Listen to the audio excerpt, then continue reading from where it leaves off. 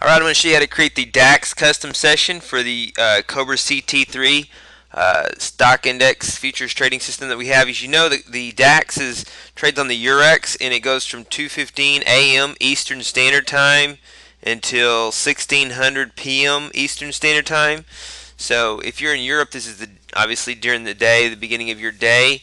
Uh, it starts at 2 a.m. The, the, reason this time says 2:15 is because that the time on these bars is the end time of the fir very first bar. If you change this to one minute bars, it'd be 2:01.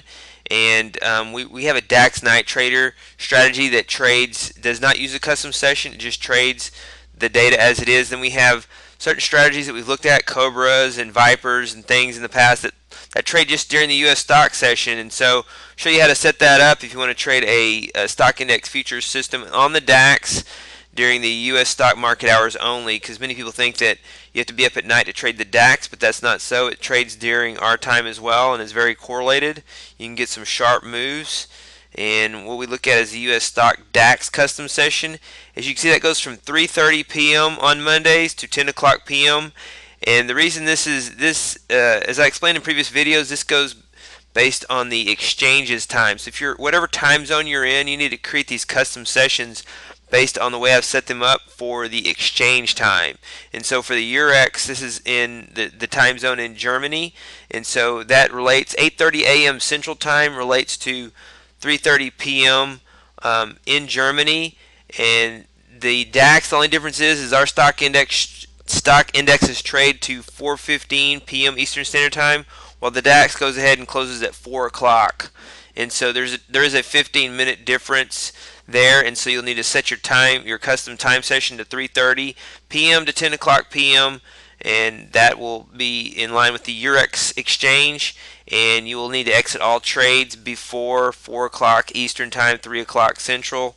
And this is the way you set it up. Look at some, some of my other videos for U.S. stock and uh, bonds and Euro custom sessions in this TradeStation FAQ to uh, figure out how to set it up. I'm not going to delete it and recreate it. It's really, really easy to do. So um, 3.30 to um, 10 o'clock p.m. Uh, will put you in line and you'll be able to see uh, the stock market. Let me go ahead and show you this you can see this so it starts at 9:45 is the end of the first 15 minute bar and then it ends at 4 o'clock. And so you can you can use this and plot the E-mini S&P or uh, any other stock index with this and it'll be right in line. You can use market internals such as the tick. I'm going to go ahead and show you uh, you can put in the tick for example as data 2 we're going to go ahead and load that. Go ahead with the default setting one month back 15 minute bars. Click OK and there is the chart. And so you can see now you're going to get days like this where we might close early um, at noon. And see this ends at 13:15 uh, you may get may get these early closes in the US session while the uh, DAX uh, is open on different days than we are. As you can see here the DAX is open can't remember if this was on Thanksgiving Day, but the, I think the 24th was Thanksgiving Day this year.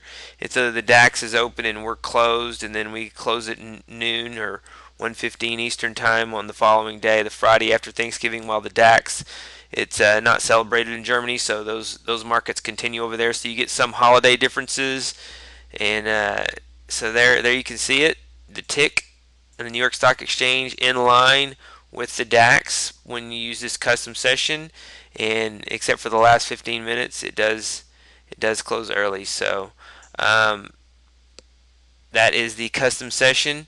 And um, let me know if you have any questions